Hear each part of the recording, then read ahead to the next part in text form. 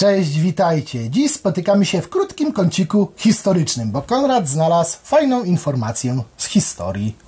Tak, a wiesz, że Epla o mały włos to by w ogóle nie było? Ale jak to? Pan Woźniak, kojarzysz? No, kojarzę, mam nadzieję, że wy również. No, pan Woźniak pracował w Atari kiedyś. I on sobie pracował w Atari, a ze swoim kumplem Jobsem majstrowali w garażu komputera, No, który stał się potem pierwszy, pierwszym Applem. Słynny tak. garaż.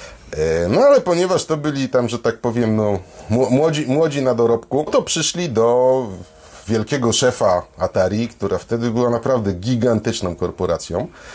E, No może nie korporacją, no ale trzęsła rynkiem gier wideo i powiedzieli, że oni mają taki pomysł, żeby komputer do, domowy zrobić. No a Atari nie było zainteresowane. No to po co komu komputer? Tak wtedy myślano. Dokładnie. Gra telewizyjna to tak, ale komputer po co? E, No i co? No i Woźniak odszedł z Atari, założyli Apple'a. A potem już wiemy, co było. Tak jest. Ale gdyby wtedy komuś się inaczej troszeczkę klapka zaskoczyła, to by było Atari. Tak, i rynek wyglądałby zupełnie inaczej. Od taka mała ciekawostka na dziś. Od Konrada. Tak, a w ogóle jeżeli chodzi o samo Atari, to tam jest naprawdę, tam jest mnóstwo ciekawostek. Jeżeli chcecie więcej, to dacie znać. To jeszcze wam Konrad o Atari poopowiada, bo z tego, co chwilę przed nagraniem porozmawialiśmy, to ma jeszcze sporo ciekawostek na ten temat w zanadrzu. To do zobaczenia, cześć. Cześć.